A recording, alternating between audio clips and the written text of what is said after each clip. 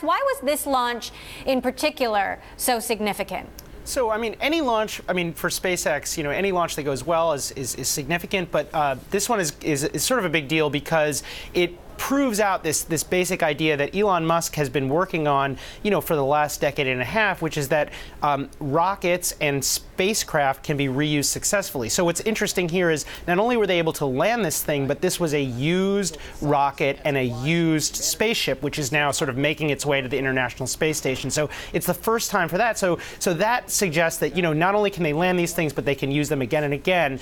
Um, and so yeah, that's a big milestone in terms of trying to get the cost of launch down, which is a big part of SpaceX's business. It's a key to their profitability or, or, or hopeful profitability. I don't think we have that much information about their finances. Um, and it also, is, as far as Elon Musk is concerned, is you know proof that we can you know eventually get to Mars or, or have you know manned space travel in the future.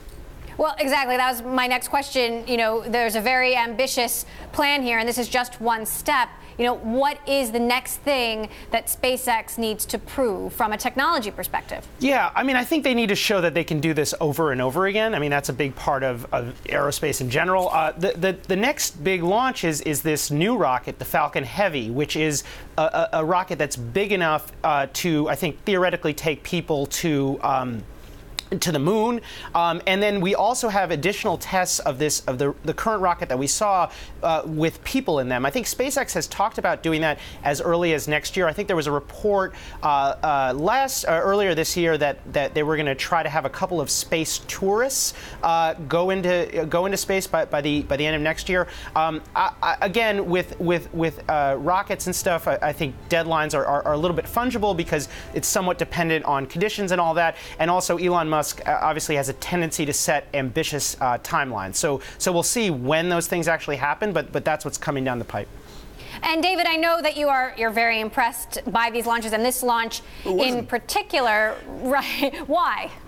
Well, I mean, first of all, not only was it a used rocket and a used capsule, but the used rocket then landed back on Earth very successfully, so it could be reused yet again, which is just to me amazing. And I you know I, I, perhaps Max knows the economics, but clearly this is going to radically reduce the price and the cost of spaceflight, which uh, enables all kinds of things that we have never been able to do with space because it was simply too expensive to get up there. So to me, it's just yet another feather in the many feathered cap of Elon Musk.